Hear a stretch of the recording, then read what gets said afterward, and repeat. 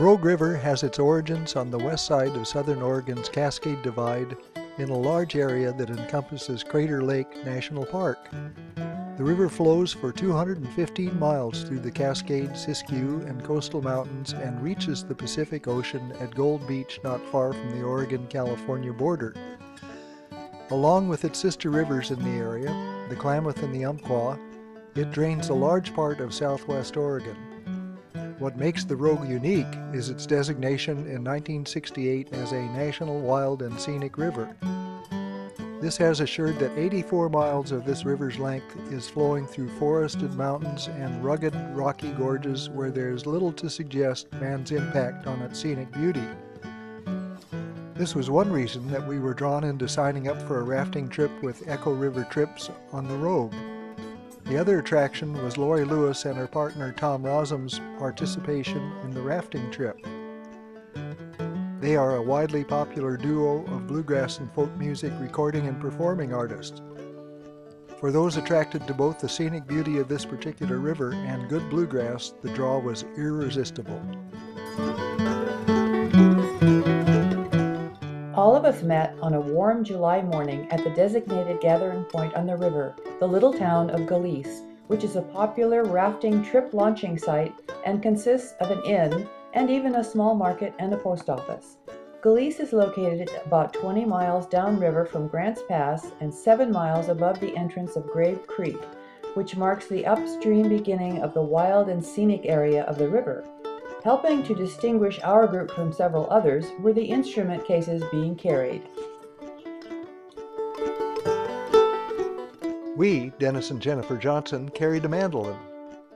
I retired almost 20 years ago as a veterinarian from the National Institutes of Health to Port Townsend, Washington. Jennifer had many careers in teaching, editing, finance, and we both spend a lot of time now doing music together. Coming from Port Townsend with us were our friends David and Ruth Whitney. David is a semi retired orthopedic surgeon, and Ruth has authored Slim, a fictional novel about AIDS in Africa. They enjoy the active Northwest outdoor lifestyle and what it offers for kayaking, skiing, fishing, bicycle touring, hunting, and simply enjoying the beautiful scenery and climate. Recognizing Gregory Johnsen, who had driven up from his home in Berkeley, was easy because he was carrying a guitar and because he's our son. Greg is an executive and the founder of GT Nexus, an Oakland based firm that provides a global computer based network to support trade and logistics. In addition to being active in the outdoors, he's also a vocalist and guitarist who enjoys all types of contemporary music, even bluegrass. Ron Marks joined up with his dobro in hand. He told us he grew up wanting to be a philosopher prince, to understand the biomechanics of sea creatures, and to play the French horn, which was not in evidence. For serious stuff, he delivers high resolution to fussy researchers in the South San Francisco Bay Area while composing and decomposing acoustic music, mostly involving resophonic guitar. We guessed that included dobros.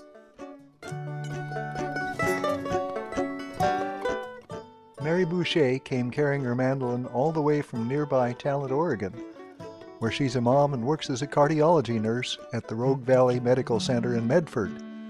She's also a music lover and wannabe bluegrass mandolin player and clogger who loves nature, birds, rivers, and adventures that engage the mind, body, and soul.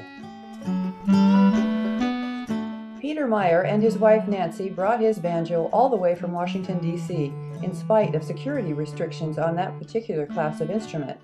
Peter, who turned out to be one of two lawyers on the trip, works with the Federal Department of Justice. His encyclopedic knowledge of bluegrass music led to some concerns, unfounded it turned out, about having our copyright releases handy. Mary works with an endodontic practice in Chevy Chase, Maryland, and they love opera together, which they admitted did not explain their presence on the trip.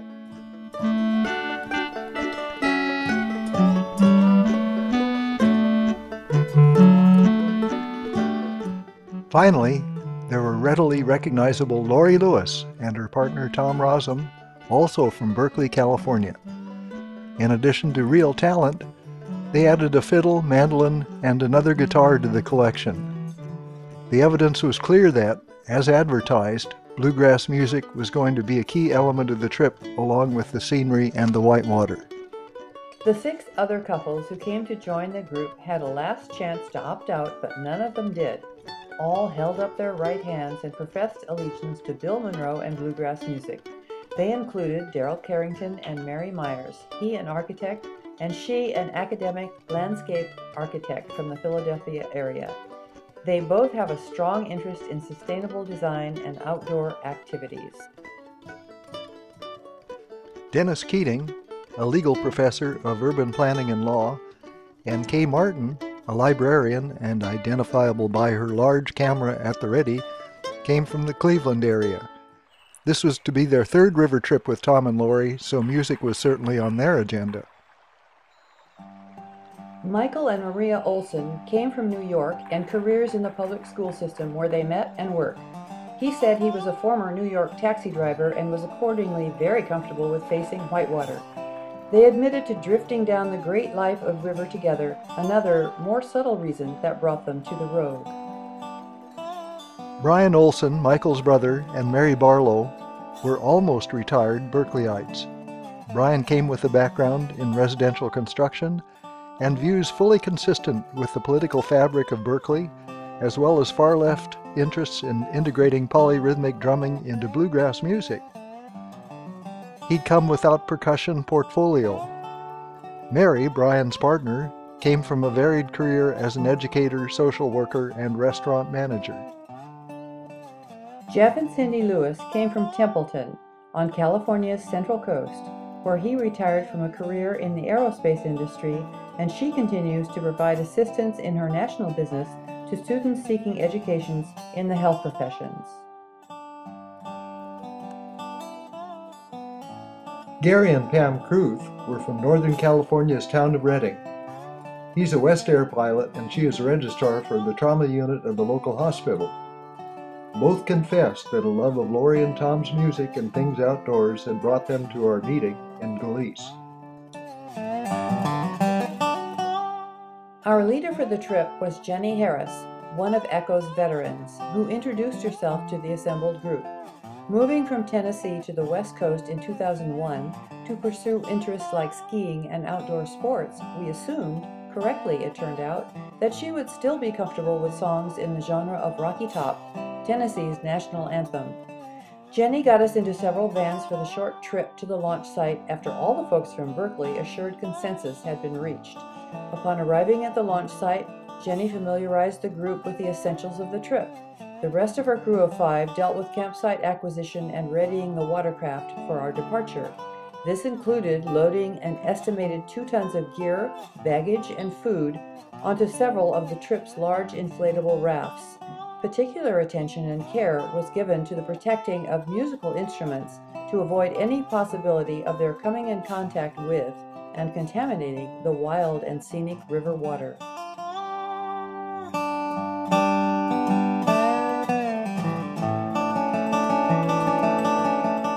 Jenny explained that, while peeing directly into the river was encouraged with discretion, the other major type of body waste was to be deposited directly into special high security Groover tanks that would be later transported to designated sanitary waste disposal sites safely beyond the reach of the river. Most importantly, the Groover could only be accessed in a special tent remotely set up at the edge of camps and protected from untimely intrusions, for example from any bears, with an occupied signal, easily understood by bears, consisting of a paddle stuck upright in the access trail.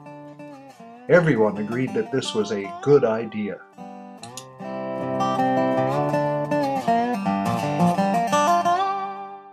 Another item dealt with modes of transportation, of which there were three. First class, which provided a luxurious seat for two on one of the gear transport barges and required nothing more than watching the scenery go by and letting the guide do all the navigating. Second class provided at least six seats on one of the crude rafts where everyone paddled more or less under the direction of the guide. Steerage was voluntary assignment to one of the five rubber duckies or inflatable single kayaks. This provided for the greatest freedom of expression and risk and its consequences. However, rubber duckies had to closely follow the raft designated as Mother Ducky, follow the directions given by the Mother Ducky guide, and assume the proper heads up, bottoms down, hang on to boat and paddle position in the water in the event of capsizing. It was good policy. The necessary details being covered, people donned their gear, manned the boats, pushed off, and set out down the river. A little less than two miles downstream, we entered the 34 mile stretch of river designated as wild, and the first of five stretches of significant whitewater that we would see for the day, one of them being Rainy Falls, which was the only Class 5 rapid of the trip. Our experience on this one was from the walking trail around it and watching as the guides bypassed the falls through a fish ladder channel that had been blasted through the rocks many years ago. Particularly appreciated was guide Nick Lorenz's successful navigation of the fast, narrow, overgrown channel with his fully loaded raft carrying the wine, draft beer, and most importantly, the groover. A fiery redhead born and raised native of Oregon, Nick was a veteran of three years with Echo and a college student in Vermont with interest in making pottery, farming, and the brewing and love of beer.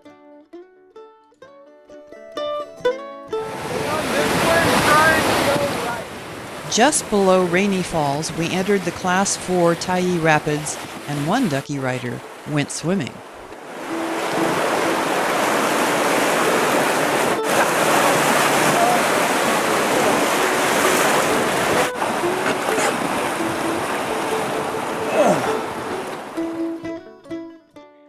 Made our first camp at Tyee, just below the rapids and about five miles below Grave Creek. While probably qualifying as a primitive campsite because it was without bathrooms, showers, or king-size Tempur-Pedic mattresses, the experience that awaited us for the night at Tyee deserved a five-star rating. For openers, guide J.R. Weir laid out a delicious sushi bar that he had prepared, complete with even a bonsai tree. No one was ever sure of what JR's initials stood for, but probably had a relationship to his father's name, a judge in Crescent City. An accomplished kayaker and instructor with a quick wit and a knack for opening the eyes of people to the magic of the river, he convinced everyone of his credentials as well in the culinary arts. The rest of the dinner was teriyaki salmon, in keeping with the native word Tyee for the site, meaning fresh king salmon. The occasion of Jeff's birthday was also celebrated with a dessert of Dutch oven baked chocolate cake. In a pattern that would be followed at each of the three campsites, Laurie Lewis and Tom Rozum sang and played their beautiful duets and sets before and after dinner, accompanied only by the sounds of the river and artfully coinciding with beautiful sunsets and the emergence of starry skies. Awed by their performance, the wannabe bluegrass artists, also along on the trip, got good marks for restraining themselves from joining in. However, they did find ample opportunity to make their own musical contributions in the morning and late afternoon jams, and Laurie and Tom were consistently good sports for joining in on these and improving the mix. Departure from Tyee on the second day followed a generous breakfast, the morning jam, and breaking camp. The first stop was about four miles downriver at Big Windy, where there was a large rocky outcropping rising straight up from a deep pool in the river. A perfect place for most of the company to ignore any latent acrophobia and take a long plunge into the river, which most of the company did. Amy Keepers got a good spot at the bottom for taking pictures. Amy, who photographed well, is a Utah girl studying nursing during the school year in Salt Lake City. And besides river guiding in the summer, she kayaks, plays the mandolin, and mountain bikes. Below Big Windy was guide Nate Wilson at the helm of the Mother Ducky, who took on four stretches of whitewater before lunch. Nate, a charmer and adventuring wanderer with origins in South Carolina, has been kayaking since he was 14. No duckies were lost on his watch.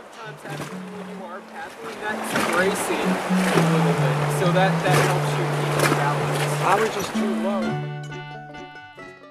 Lunch was on the riverbank at Little Horseshoe, about two and a half miles further on. Two miles beyond that, a stop was also made in mid afternoon to see the cabin Zane Grey owned at Winkle Bar. In addition to being one of the most popular writers of Western fiction, Grey was devoted to fly fishing for steelhead and spent a lot of his time on the road. We went on to cover our longest stretch of the river that day, about 14 miles, passing through 11 Class 2 and 4 Class 3 stretches of whitewater. Okay.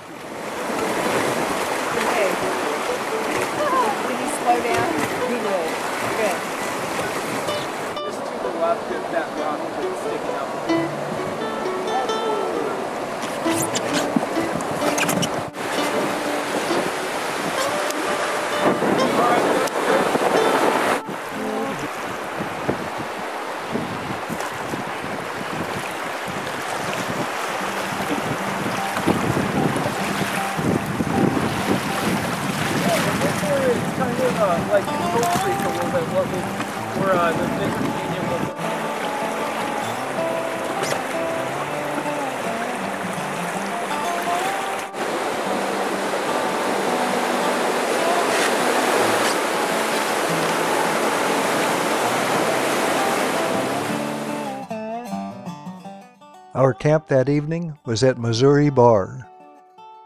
The campsite order of events followed the previous evening with brie and goat cheese appetizers, grilled tri-tips with mashed potatoes and fresh asparagus for dinner, augmented with another evening of pleasurable music from Laurie and Tom. In addition to breakfast under bright blue skies, the next morning brought to light the talent of guide Donnie Simpkin at the pre-departure jam. In addition to playing guitar, Donnie was a native of Los Angeles, coached crew at Stanford, and was an Olympic hopeful in 2009 for the U.S. national team for rowing. The day ahead was a challenging one, promising nine Class 2, one Class 3, and three Class 4 rapids on 12 miles of the river that we were to cover during the day. About three miles downstream, we stopped at the Rogue River Ranch at the entrance to Mule Creek. The 70 acre ranch was originally homesteaded in 1887, and the main building, restored by the BLM after purchasing the tract in 1970, served as an early trading post and post office, accessed from downstream by both mule and water.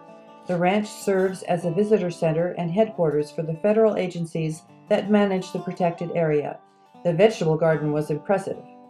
Lunch was staged at Eagle Cove, several miles further downstream, allowing everyone an hour or so of good relaxation before facing the rigors of Mule Creek Canyon and the beginning of the most challenging stretch of whitewater on the trip. The middle of them? No. That scares me a lot. The first of these rapids was Mule Creek Narrows.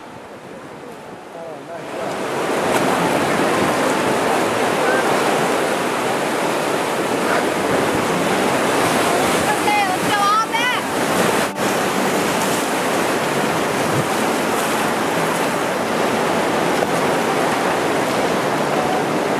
Okay, relax.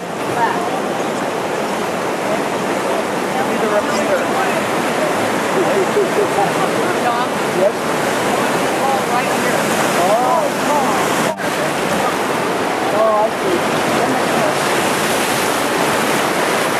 Hey, stop.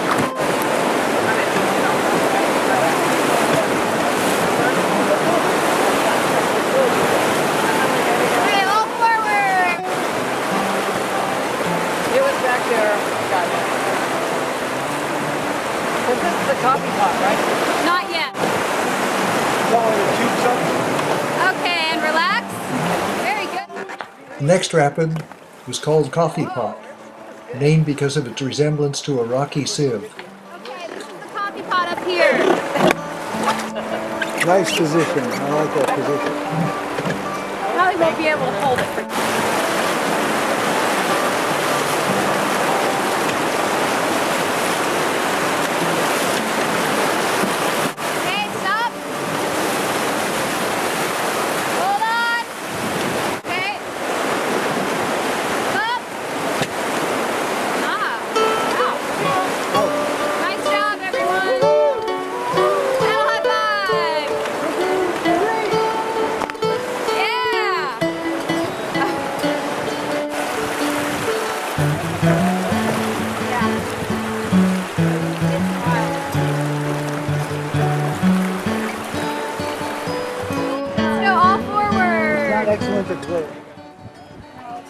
Everyone relaxed as we tucked into a rocky crevice with a pretty waterfall.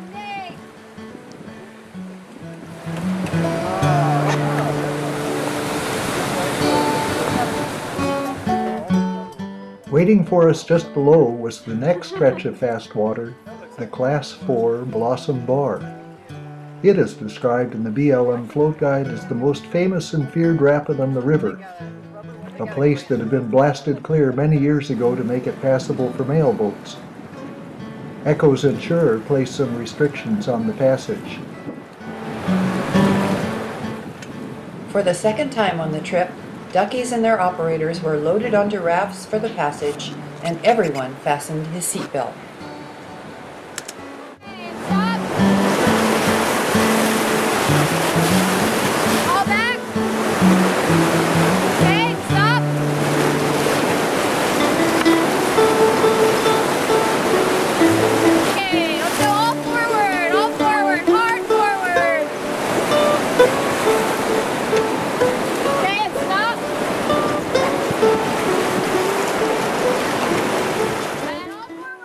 Everyone made it and were cheered by bystanders on the cliffs above as they emerged from the experience to celebrate with high fives.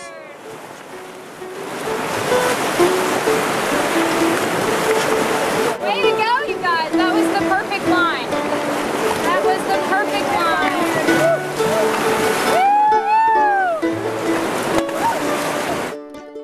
The last campsite for the trip was reached several miles downstream at Camp Tacoma, which boasted the luxury of a genuine Forest Service sit on top comfort station complete with four walls, a door, and a lock. It could have served, if necessary, as a refuge from the bears that were sighted several times along the river in this area. While only about 11 miles of the river were traveled during the third day, the day was certainly a good one for excitement and appetite building. The prelude to the evening began with a habit forming pre dinner Lewis Rozum concert, accompanied by chips, salsa, guacamole, and a fortified punch. They were joined by all members of the party and guides attired in unusual garments chosen from a large assortment tossed on the ground and likely selected from a Salvation Army warehouse fire sale. This garb would set the stage for the much heralded and climactic talent show scheduled to follow that evening after a satisfying dinner of grilled chicken fajitas. The show allowed ample opportunity for self expression and, occasionally, intimate insights about our new friends on the river. The sounds of music persisted well after the show and slowly faded as flickering flashlights and movement were superseded by sleep. Breakfast on the last day had a somewhat relaxed air to it, perhaps because there were only about six miles more to float on the trip before the takeout at Foster's Bar. As usual, the morning jam was good and set the stage for the most peaceful stretch of the river we had seen, Clay Hill Stillwater, which began less than a mile below pushing off. For this, the rafts were tied together, and Laurie and Tom played their duets for about the next hour as their sound echoed in the stillness and the boats drifted lazily downstream. Even the occasional bear took notice. A good lunch of chips and tacos was consumed before taking on the last stretch, which included just several more Class 2 and one Class 3 rapids. They were traversed without incident. It seemed everyone was becoming a veteran and that the greatest challenge was avoiding the tourist filled, as distinguished from us, mail boats that we met roaring upstream. Reaching Foster's Bar had a hint of nostalgia to it as we all posed for the class picture together, changed into more normal travel attire, and got things together for the 50 mile van trip back over the mountains to Galice. The road trip was a sightseeing excursion in itself, including arriving to see an overturned van recovered and going over a roughly 5,000 foot pass. But the trip was over and time to say goodbye to folks with whom we had shared a very special four days. A unique experience that, even if we tried to do it again, could never be the same.